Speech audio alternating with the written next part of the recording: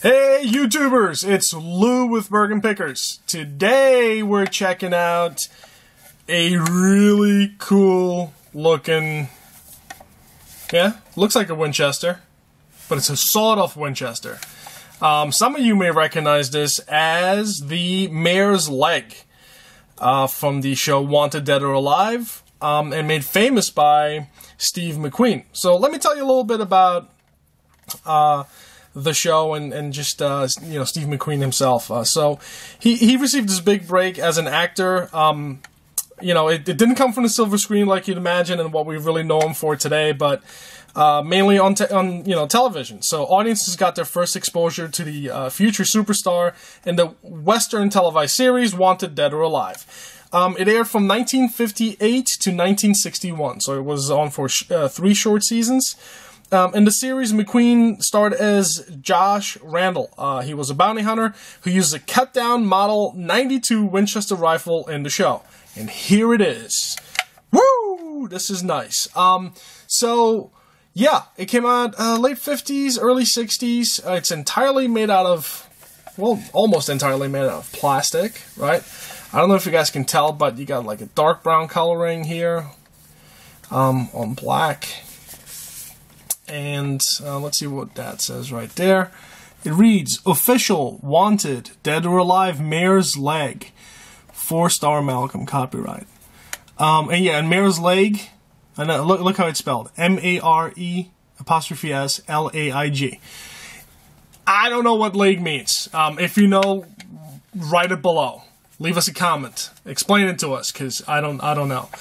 Um, and there's the Marx Toys logo right there.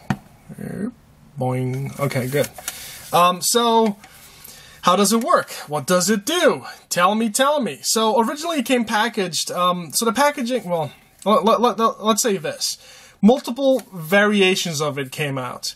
Um, you know, the main variation is the packaging. Some were slightly longer, some were smaller. Um, the cap guns, you know, the mini cap guns were released that look exactly like the Mare's Leg right here. Um, and they were like really small, almost keychain sized, and you could put a, you know, there were single cap firing. So you put one cap in there, um, pull the trigger, it fires the cap. Um, this is the 13 and a half inch version, again by Marx Toys. Um, and what it does, it's supposed to replicate the action of a Winchester rifle. Again, sawed off, cooler.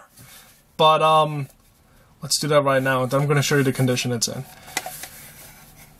So how you you would load uh, your bullets here on the side. In this case, it's a toy, so you can't do it, but you still have the action. So as a little boy,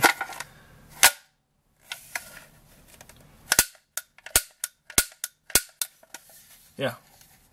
Sweet. It's got the action like a Winchester rifle um, when you load a bullet. And it snaps back to the case. Um, and this is a click pistol. It's not a cap pistol. So what it's, it's supposed to only make noise.